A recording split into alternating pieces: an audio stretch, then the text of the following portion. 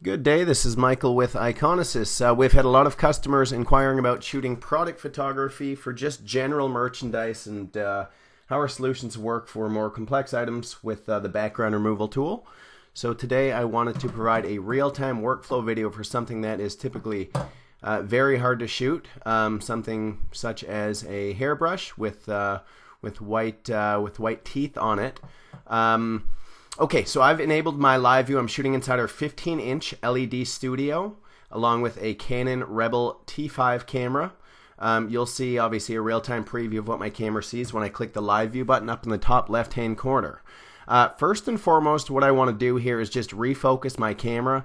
Uh, I could do this manually if I wanted. Um, as you can see, I can start to bring stuff back into focus manually through mouse clicks. Um, the other option would just be to toggle back to autofocus, and that will uh, put my camera, uh, it'll just trigger the autofocus. The next thing that we want to do is uh, is going to be adjust our camera settings for our lighting environment. So I'm going to go ahead and make some adjustments here. As you can see, you can start to change your aperture and your shutter speed to optimize your camera settings for the lighting. Um, I'm not worried about the background here uh, so much. I'm more so worried about shooting correct color accuracy. Uh, this will be absolutely critical. Uh, looking at my product, it looks like we are very good on the color accuracy.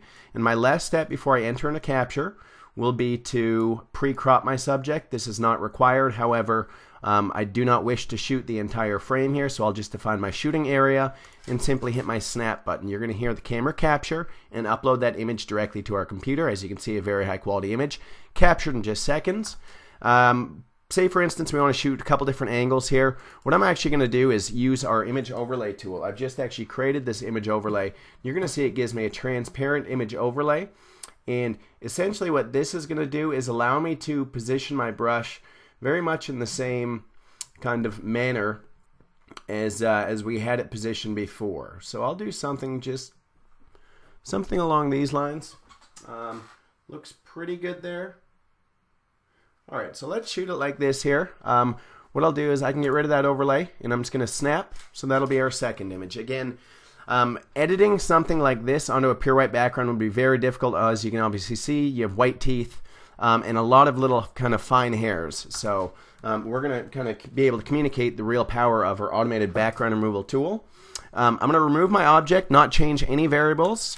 Hit the snap button once more. That's going to capture uh, my third image. And basically what this third image is, is my background only image.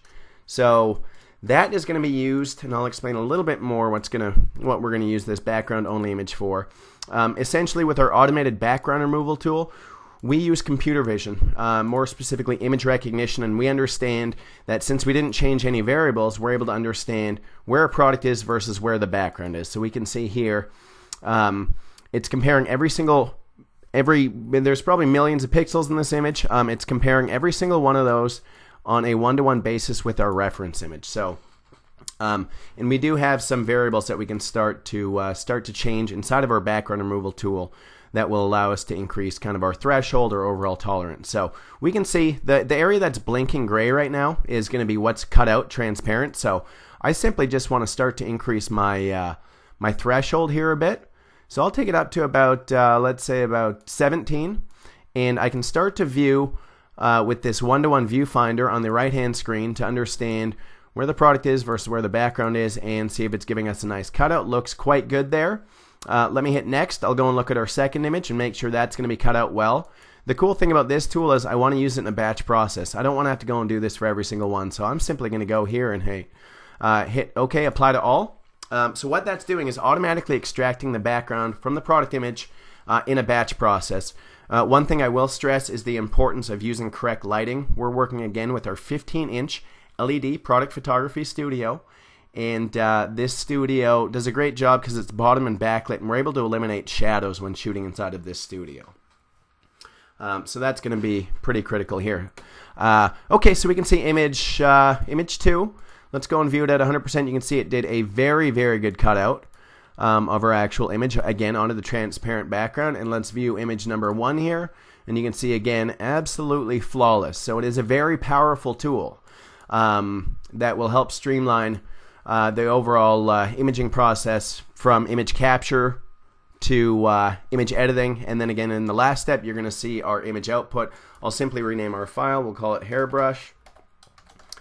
It's going to batch rename everything, and it'll be hairbrush 1, 2, 3, etc. You can get pretty creative with the naming based on your requirements. You can also choose the batch resize. Uh, maybe I need all these images at 1,000 pixels wide. I'll choose my output folder. Uh, simply hit OK, and we've output those images, and we're on to our next. Output can include TIFF or PNG images, which will retain the transparent background properties, or also JPEG images, which you can always choose your uh, background that you wish to use. For instance, if I want uh, to output JPEG images with pure white backgrounds, basically what I'll do is my alpha blending option. I would choose my background color. Um, you know, maybe it's red, maybe it's yellow. You're going to see here. We'll we'll see the change um, if you output the uh, the uh, the image, and I can get rid of that che checkerboard pattern. You can see our image with the yellow background there. Um, so a great tool for for product photography, saving a lot of time and effort. Let us know if there's any questions. Thank you.